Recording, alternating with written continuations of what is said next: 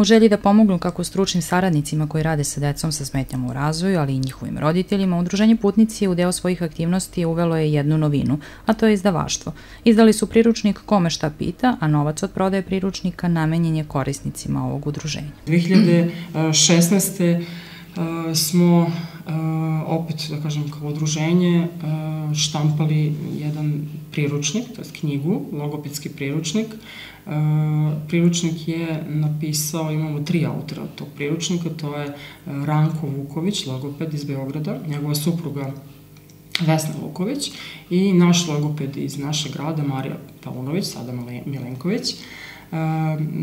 Mi smo kao udruženje bili, da kažem, Izdavači. Tako, izdavač smo bili. Tako da smo ovaj, oštampali izastan broj knjiga 2016. kraj 2016. Identičan način prikupljanja novca je bio za, za štampanje, isto putem donacija.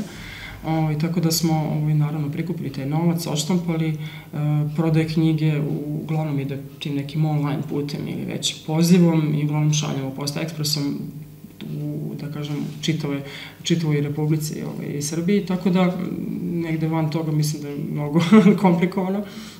Imamo potrebe, ovaj, pre neki dan pozvala žena iz Crne Gore, ali prosto sam je rekla da je jednostavnije da nađemo nekog, nekoga u Srbiji da je pošaljemo. Ovaj, ja moram da kažem da su se autori odrekli autorskih prava i da prihod od prodaje knjige uh, ide uh, udruženju za sve potrebe koje su ovaj, koje zahteva udruženje, tako da to je njegovi članovi.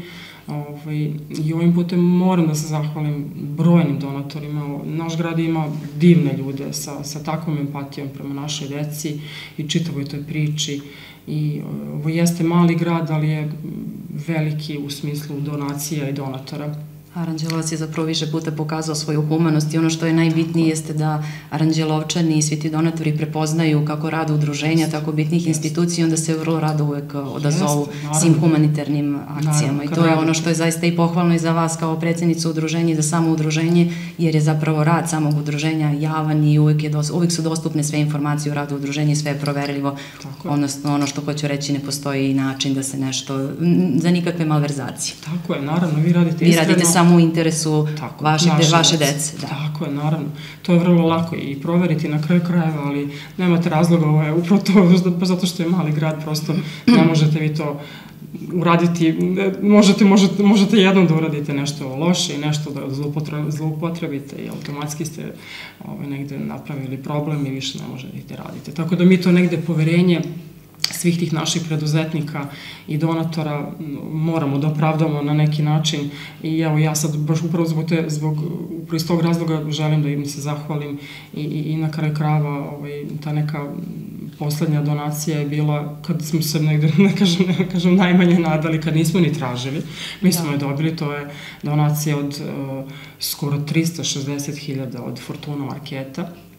Ovaj, to je bilo Mm, ono što je jako. važno napomenuti, kako ste utrošili tu donaciju? Pa da, samo upravo da, da sam tela da kažem da je to jako onako zanimljivo da na kraj krava upravo to, taj neki iskreni rad i, i humani, a opet i transparentan, kao što smo mi, ovaj, je upravo ovaj, proizveo to da, da su nam bukvalno ovaj, pozvali da nam, da, nam, da nam doniraju. Mislim, i nama i udruženju Deca u srce i bolnici tog momenta od prodaje potrošačkih kesa, ovaj, oni su prikupili ogromnu sumu novca, oni su podelili to na tri dela i ovaj, ovom putem, mislim, naravno, duboko zahvaljujem